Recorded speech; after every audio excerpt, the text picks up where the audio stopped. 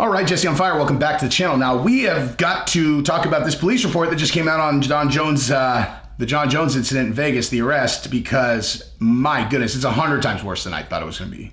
I mean, this is serious. This is a bad story. Like, is like a legit bad story. It's bad enough that I actually have to preface this because generally, when there are like street fight things or like someone gets arrested, the tone that I generally take is I'm like making fun of people, right? It's like I'm just making a joke out of it this is pretty serious and serious in a way where like uh, you know I, I, I don't know man. I always try to not be like the default like cliche guy. So it's like it sounds like there was some physical stuff between Jon and his fiance and you know i think most people are like oh uh, well geez i guess we better you know oh any man that puts a hand on a woman should go to the gas chamber. Like okay i'm not five years old right? Like i I mean, I certainly agree a dude should never put a hand on a girl, but I'm also not five, so I can empathize with everybody involved, including Jon, because it sounds like he's really going through some shit here, man.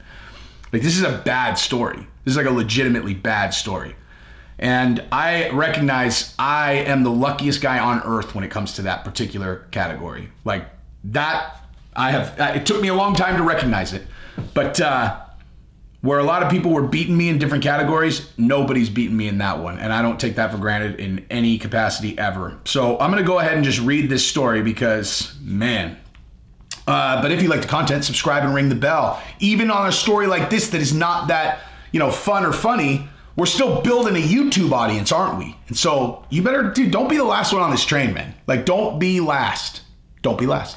Okay, I only have 37,000 subscribers. I'm getting a million views a month. I'm pretty sure it's only not just 37,000 people that are doing the million views. So get on the train, dude. This thing is only going this direction. So anyway, let's read this thing. All right.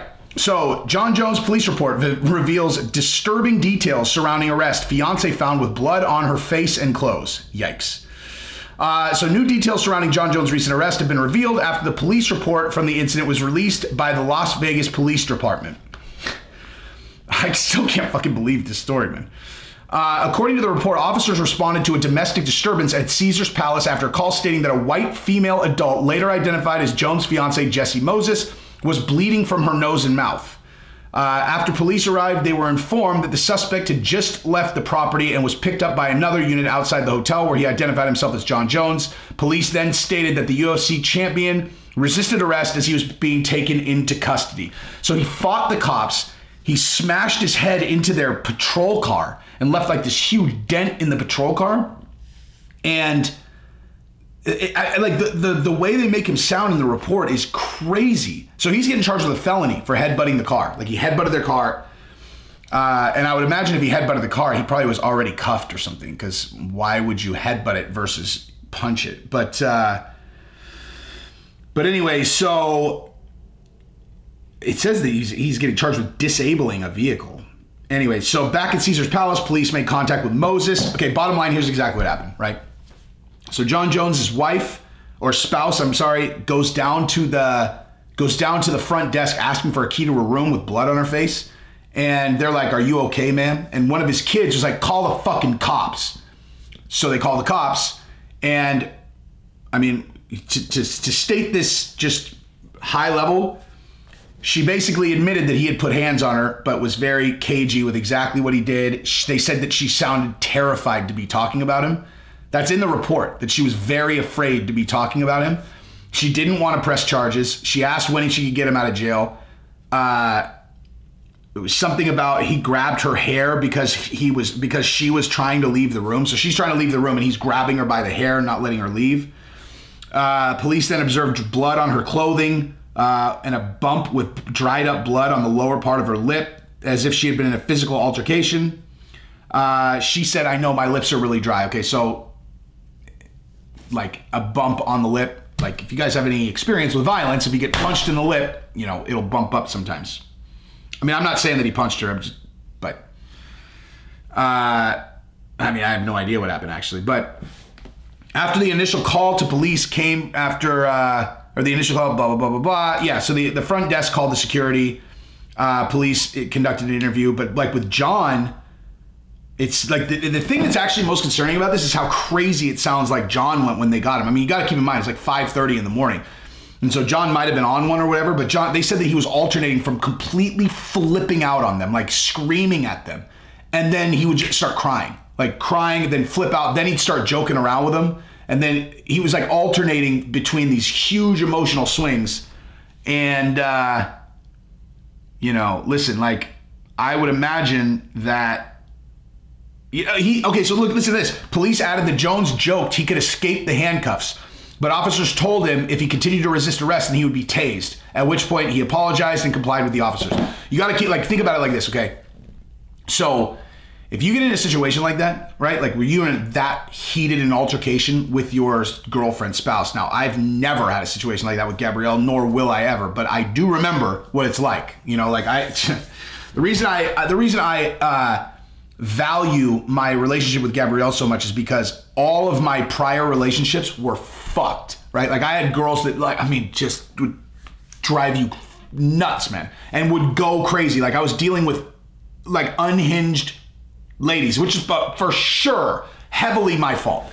But I remember that level of anger, like where you're just like and you just like you, like all the it's it's an anger you can only feel towards like a person you're romantically involved in. Like another person actually can't make you that mad. It's partially also because if it's a dude, you would actually attack them. You know, like you, if you ever get that mad, you if you get that mad at a dude, you're gonna fight them. And when it's a girl that you're in a relationship with, you're not. I mean, you're not gonna attack me. Even if Jon did elbow her or something like that, consider what he could do to her if he really wanted to hurt her. Okay, like I mean, I'm not I'm not excusing his behavior at all, but I'm just saying like my point is how angry you get in that situation. Again, that has literally never happened ever with me and Gabrielle, nor will it ever.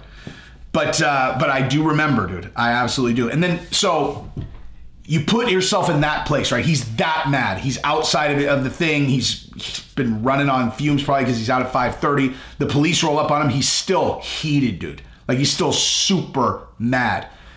And then he starts getting arrested. So he's flipping out, and he's simultaneously processing, holy shit, I'm getting arrested again. Like I'm getting arrested again. And he's it's it, he's like double tracking like, "Oh my god, this is to be another headline of me getting arrested. This is to be a fucking nightmare." So he's still mad. He's emotionally cycling through that and then he's also getting hit with the emotion of, "Oh my, this is to be this is to be the worst thing ever." And then he starts to process what he's getting arrested for when they tell him it's for domestic violence and it's just like, "Oh my god, you know, he's just all over the place." I I can understand how that would happen. But I don't know. I hope he gets it together, man. Like this, this is the first time that I've actually heard or, or read like an arrest story from Jon where I was like, damn, I'm actually concerned for this guy. All the other ones were just like, man, this guy just parties and he makes bad decisions when he's super drunk. Like, and I know a million guys like that. And every time I look at him on, on camera, he just looks like he's charming and chill. He just is one of those guys that when he gets blitzed, he's out of control and he's a huge dude. And so sometimes he gets locked up. Like, that's what all, every other arrested looked like for me. Bad decisions from a guy who likes to get really drunk. This is like, man, he's like troubled right now. He, this is like, this guy's not in a good place. He hasn't fight. He's not fighting. He said he was gonna, you know, he gained all this weight to go to heavyweight, and then he's like, no, I'm not gonna fight till next year. It's like he just, I don't know, man. This this sounds like a person who, but this is a real bad look, man. This is a bad look. Anyway, this is what I got. Subscribe to the channel, ring the bell. Peace.